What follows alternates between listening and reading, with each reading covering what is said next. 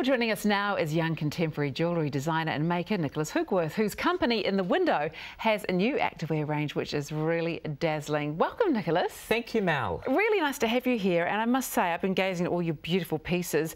Um, what got you into making jewellery, and, and how did you know what you wanted to do so young? Well, I've always just loved making things. I mean, you know, at, at kindy, I would just make all day.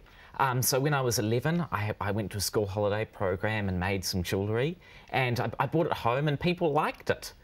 Um, so I, made some more, and, and, that's how I really got started. So what was the first thing you were making when you were 11? What kind of thing were you thinking? Um, so it was just beaded, sort of beaded jewellery, glass beads, that, that kind of thing. Um, terrible colour combinations. now, yeah, now I'm a bit, a bit more careful.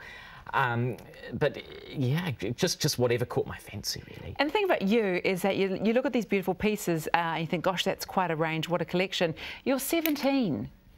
You're a 17 year old male who has created this beautiful jewellery. I know, kind of, it is a bit different. It's, it's phenomenal, it really is. I mean, where does the inspiration come from? Well, just wherever. I mean, a lot comes from nature because, you know, with New Zealand we have such beautiful, you know, countryside.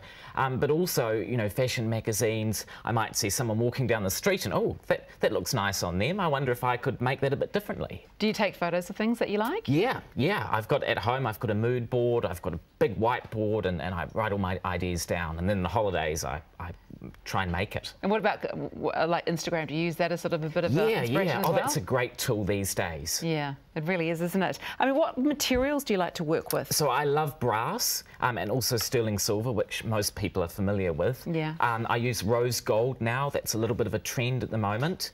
Um, and yeah, just what works together well.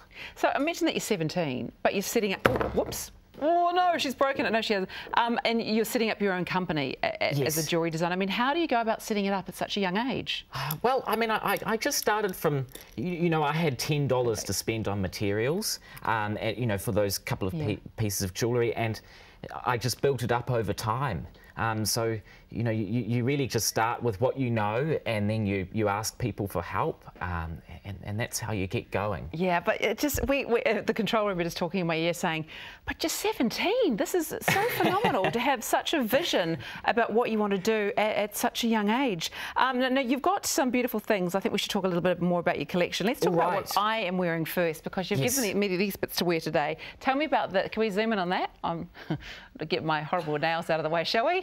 this one here, what's the signature piece called? So you've got the bee on the branch. Um, it, it's a piece that I created by accident. Um, I was just going to have the branch alone, but then I yeah. added the bee to it, you know.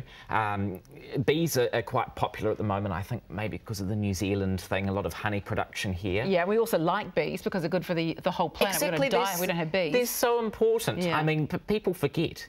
Um, and then the earrings that you've got on are the large monarch, uh, monarch wings. Hang on. And they... There we go, see that? How beautiful is that? They really catch the light. That, so that's brass and sterling silver. So I've done a mixed metal combination there. So you really do get that inspiration from nature. Yeah. We were talking about your activewear range, though, and when I said activewear, I was like, going, what? Has he got somebody in, in leggings or something? But you've got these beautiful ones here, uh, which are very little and very light. These two are your activewear range, aren't they? Yes. so we've got the running girl there. Um, so sort of the quintessential, you know, Kiwi runner would love that kind of thing.